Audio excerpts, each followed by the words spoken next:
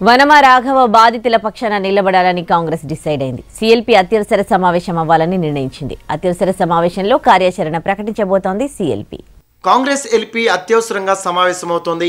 MLA Jaggareddy CLP నేత భట్టికి phone చేశారు. సీఎల్పీని అత్యవసరంగా సమావేశపరచాలని సూచన చేశారు.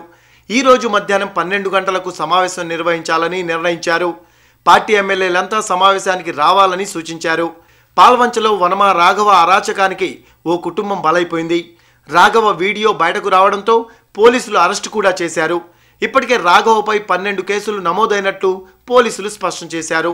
వనమ బాధితుల పక్షాన నిలవాలని జగ్గారెడ్డి సిఎల్పి నేత భట్టీకి సూచన చేశారు.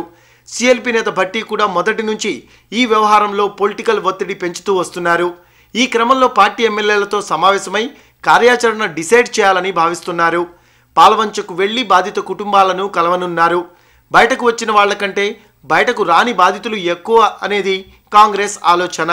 అందుకే పార్టీ ఎమ్మెల్యేలంతా పాలవంచకు వెళ్ళే ఆలోచనలో ఉంది. గవర్నర్ని కలవడంతో పాటు ఎమ్మెల్యే పదవికి వనమా వెంకటేశ్వరరావు రాజీనామా చేయాలని డిమాండ్తో అధికార పార్టీ మీద ఒత్తిడి పెంచేందుకు సిద్ధమవుతోంది. పార్టీ ఎమ్మెల్యేలు పార్టీ నాయకులతో చర్చించిన తర్వాత భవిష్యత్ కార్యాచరణను ప్రకటించబోతోంది సీఎల్పీ.